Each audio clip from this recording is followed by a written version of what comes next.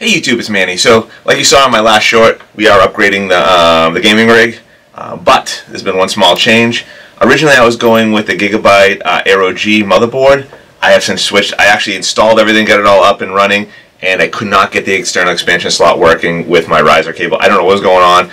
I ran out of patience and ran out of desire to actually trying to get it to work, right? I wish I could have gotten it to work for you guys, but I didn't. So instead, we upgraded. We are going with the Asus Publica Gaming Strix Z790E gaming Wi-Fi motherboard. All right, my boy Ems was the one, he uh, he's using this, uh, and I believe he has a riser cable on his as well, so one of the reasons I went with this, I know it's going to work, so we're going with it. So um, we will do an unboxing of this. We'll go over the motherboard, how to actually set things up properly uh, in case you're just a plug and play guy, you run in and throw everything in. We'll explain why we're plugging like the M.2 in a certain drive uh, slot and the memory and stuff like that. We'll go over that stuff, the backplane, and uh, a few other things. We'll just look at it. Uh, it's not going to be too in-depth, but we'll talk about things as we install. All right, guys, let's get to the video.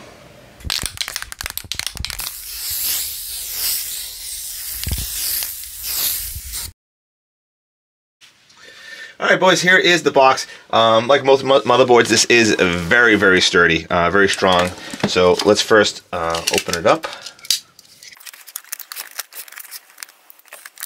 Don't make it easy.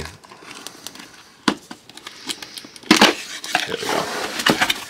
Make sure everything is in frame, and there you have it. Alright, so first thing we see obviously is the motherboard when we open it up. On the side here is some stuff in here. Let's see what's in here.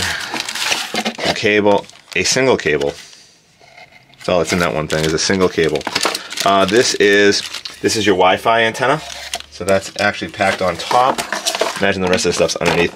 Uh, then we have the actual motherboard here. We'll open this up in a second to take a, take a look at it. We'll put that to the side for now. And I imagine under here is going to be the rest of the stuff. All right, so looks like a keychain. Just a card. Thank you. Welcome card. Uh, what else we got in here? Stickers.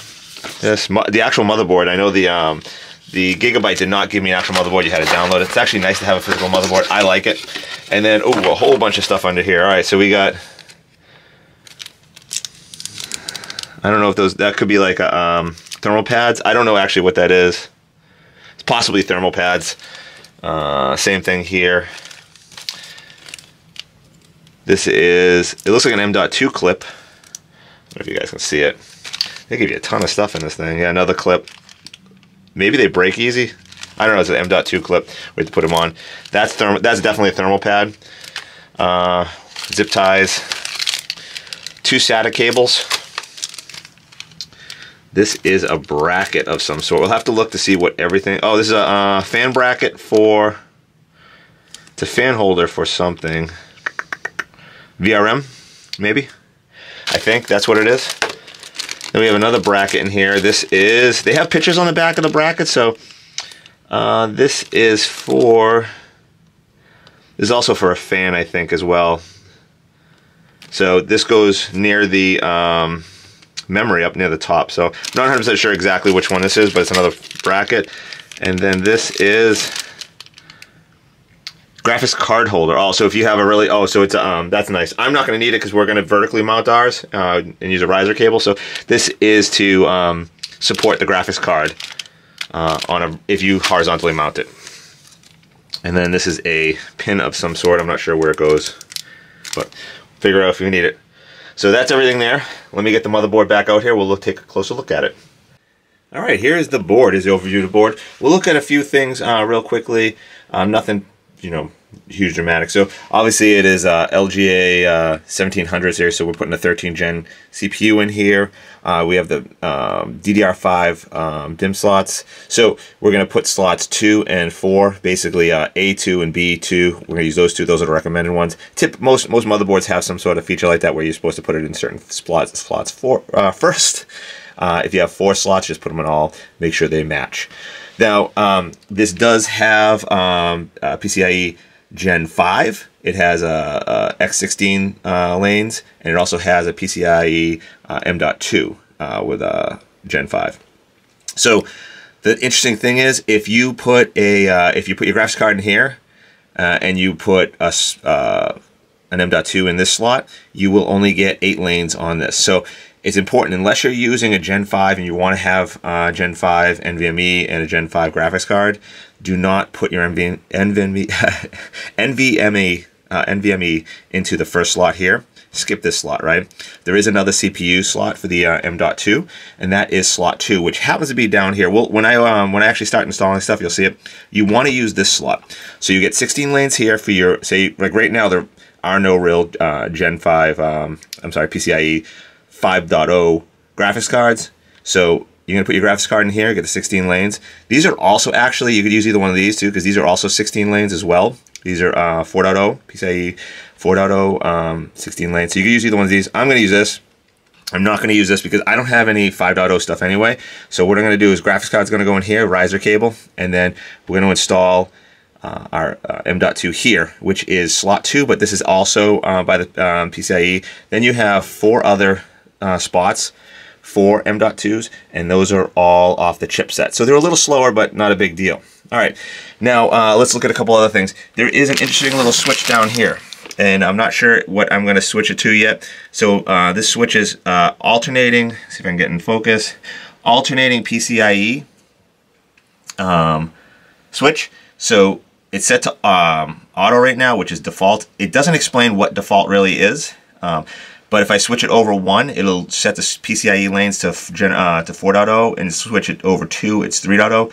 I'm going to leave it as auto right now, see if that works fine. If it doesn't, we'll go to 4.0 because everything I have is 4.0. Um, we have a couple addressable uh, addresses down here, two, two addressable RGBs down here, which is nice. Um, you know, USBs.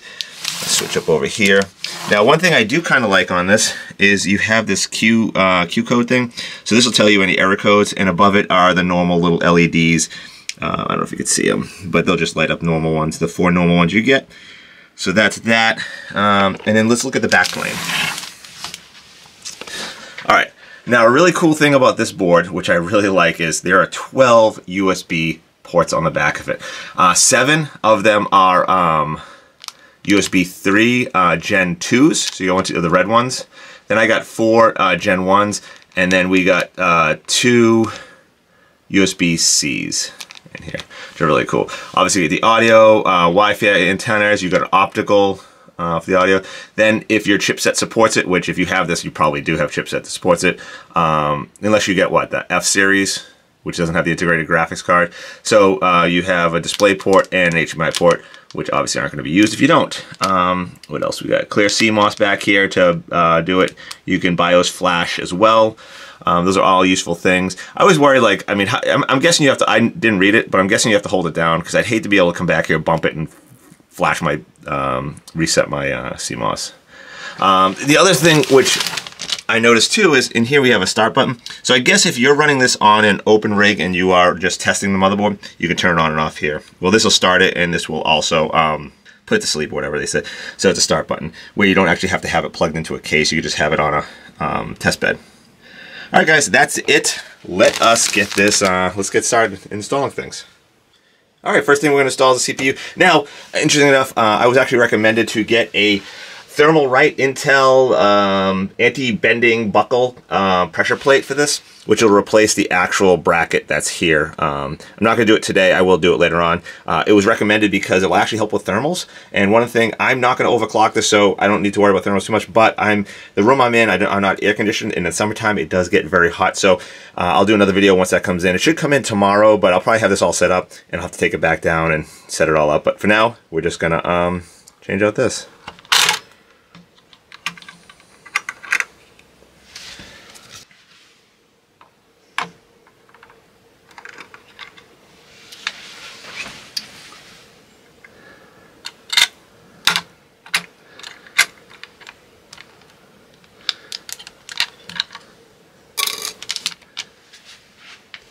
Right, for the memory, as I discussed earlier, I'm only going to be putting two sticks in for 32 megabytes, uh, gigabytes, sorry. Um, and we're going to use slot A2 and B2, which are the second and fourth slot. So with the Asus, I believe it only clicks over this side. And then we're going to take our sticks, it slides in like this. I believe I'm getting it the right way. Yeah. That's clicked in. and then slot B2. That's in. There's our memory. All right, now for the NVMe uh, drive. As I discussed earlier, we do not want to use the top one because this is going to share uh, the lanes with the, the PCI Express for our graphics card. So we're going to skip this one. The next CPU uh, one is M.2 is down here. And like I said, you have the uh, other four, which are part of the chipset. So we're going to take this one off and we're going to install it here. That's for this motherboard. Obviously, every motherboard is slightly different. Um, so just make sure you install it in the right slot for your motherboard. Check your manuals. Always check your manuals, guys. Um, I can't stress that enough. Even though you're an experienced uh, person and you know what you're doing, every motherboard might be slightly different, so make sure you do that. Uh, so this is slot 2 down here. I'm Gonna take our plug this in here. So this this is a uh, simply just push it over. So it's a quick release slot. Also uh, underneath here. So I'm going to put it back on like this. So make sure we take this uh, cover off the thermal pad. We'll leave the other ones on. I don't want to take the thermal pad off. But I guess that's why they gave you extra thermal pads in the motherboard packaging. Alright, so this is going to go like right about here. Oh, it's stuck already. Make sure I get this lined up properly before we stick it in.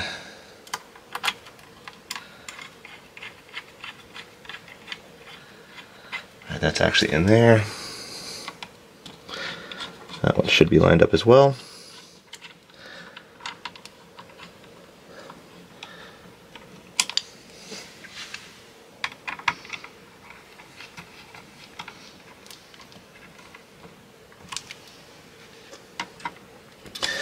All right, that's almost everything. Um, there is there are a whole bunch of these little things I want to pull off this. Make sure you get all this stuff off before you uh, put it together. So it's not ripping all this stuff off as well. All right, next thing we're gonna do is we gotta actually put the uh, bracket on for the the back bracket uh, for the heatsink. Yeah, the Z73. Uh, we'll do that next. All right, there we go. Uh, we have our CPU in, our memory in, we have our NVMe in, and we have our back bracket uh, in. We're ready to install this. Obviously, I'm not going to put thermal paste on yet until we're ready to install it because get hair and whatever else stuck to it. So we'll set up all that. First, I got to take the old one out. Uh, I got to run a new cable that we're going to do too. So a few minutes, and we'll get right back to it. All right, guys, so got the computer off the wall. I ran the new cable, which we're good now. Um, I got the back plate off. We're gonna take the old motherboard out, put the new one in. All right, here we go. There you go. Motherboard switched over. Uh, I had to route some cables. So what we're gonna do now is we're gonna, um, I'm probably just gonna push it back against the wall a little bit here. I'm not gonna mount it yet. Make sure everything works before I mount it. Um, plug it in. We'll go from there. So let me uh, push it back against the wall, plug it in. I still have to put the back plate on and then mount it, obviously, but I'm not gonna worry about that right now. Let's see if it works. Uh, it does have Windows already installed on the uh, M.2, so we should be good to go there.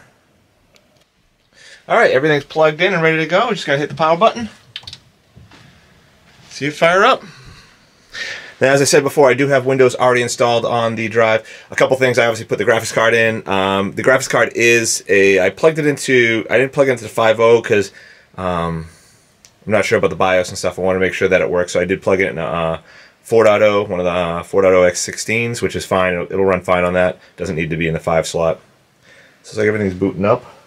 And we can turn around and we see Windows is started up. There we go, everything's working fine. All right, guys, let's get it back on the wall.